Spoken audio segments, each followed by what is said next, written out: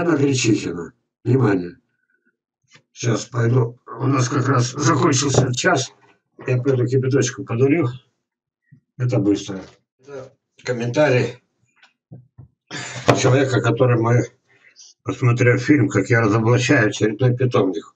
Они у меня фотографию свистнули, я решил не, мелоч, не, не мелочиться. Раз прислали, значит, имею право про них написать правду. Тем же вопросом, откуда дровишки? Вы были, как всегда, правы. Ничего не знают, только пересылают. А что, не буду выражаться. Тоже захотелось матом. И таких сайтов тьма, похоже. Вы их можете разоблачить на раз. Да, забыла сказать. Я разозлилась и спросила оператора, почему выставили фотошоп, фотографию колоновидных груш. На что был ответ. Да, это не колоновидная, а карликовая.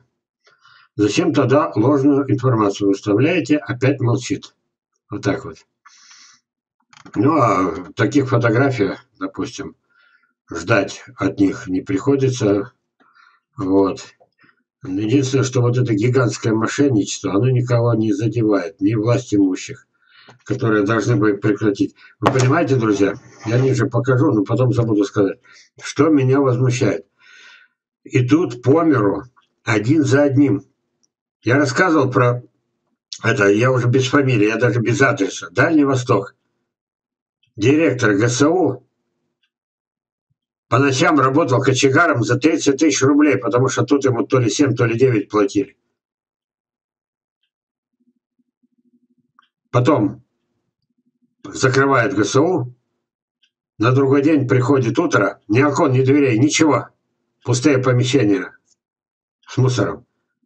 Вот она действительность. Почему государство разрешает миллионы, миллионы, миллионы, миллионы привозить из-за границы, все южные, все на смерть грабить фактически с наших соотечественников на миллиарды рублей?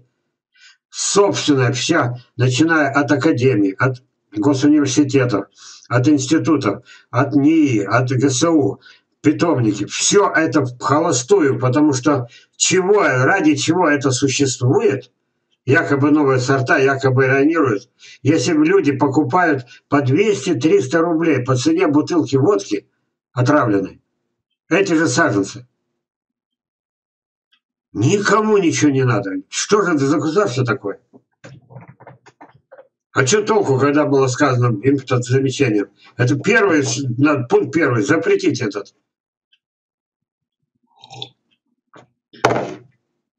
Можно не запрещать, но можно от них потребовать такие документы, которых у них нет и никогда не было. Вы же сами догадываетесь. Какая сертификация? А? У этих. Ну ладно, ниже еще вернемся к этому. Еще раз Елена Гречихина. Спасибо, Лена, вы мне здорово помогли. Увеличиваю. Значит, единственный человек, который, по крайней мере, которого я знаю, который все-таки взял и не просто, чтобы там заказать саженцы, а заранее зная обман, зная о подделках, просто решила вывести их на чистую воду. Это будем называть моя самая добросовестная ученица. 33 минуты назад позвонила. Понятный акцент у оператора. На вопрос, откуда саженцы, Краснодар. Недалеко от Краснодара. Хочу вывести сама. О, моя ученица. На это ответил, в связи с обстановкой они высылают сами. Я ответил, что хочу сама выбрать, выкопать. Отказ. Много работают не день, нельзя контактировать.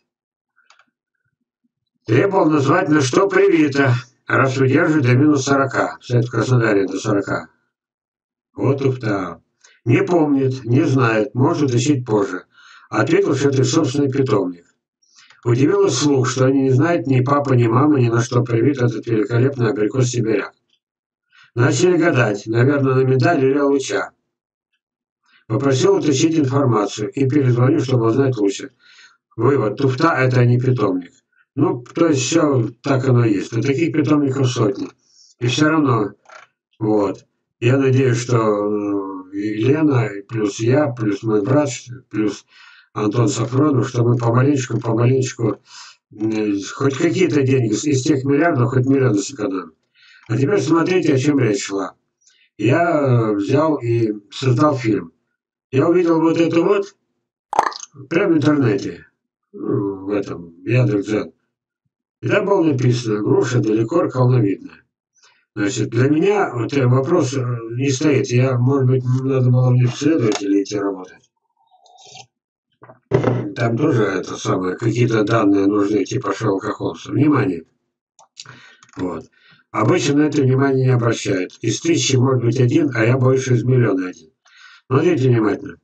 Для меня это оператор взял вот эту верхнюю часть, вот так вот, видите, аккуратненько, где надо, отрезал, и ее же пришпадарил ниже.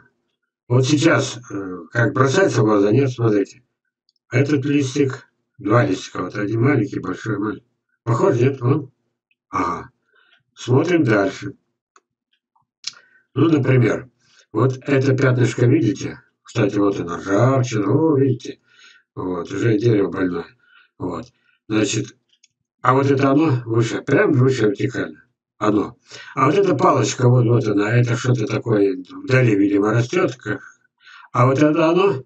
А вот его пересекает зеленая палочка. А вот она она.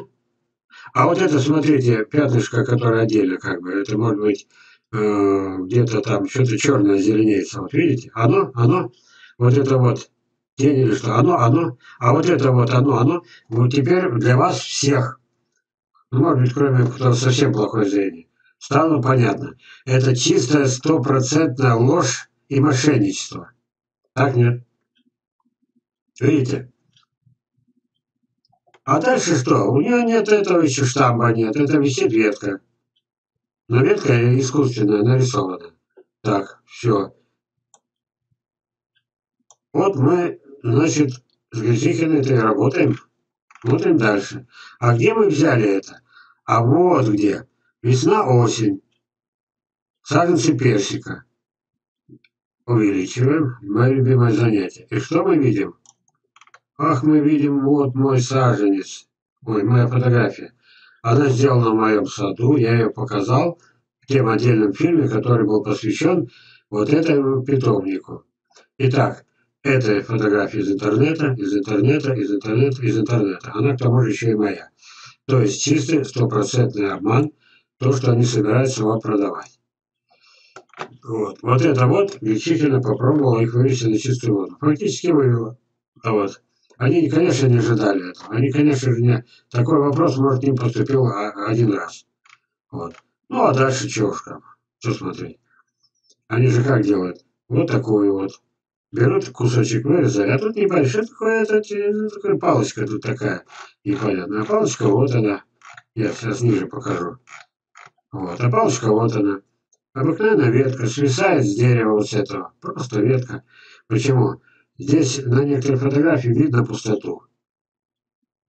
Здесь обрезали, но не брежно. Уже понятно, что здесь нет палки, нет ствола, и связи земли нет. Это свисающая ветка. Почему? Потому что никогда на всей планете не удалось вырастить ни одной колоидной груши.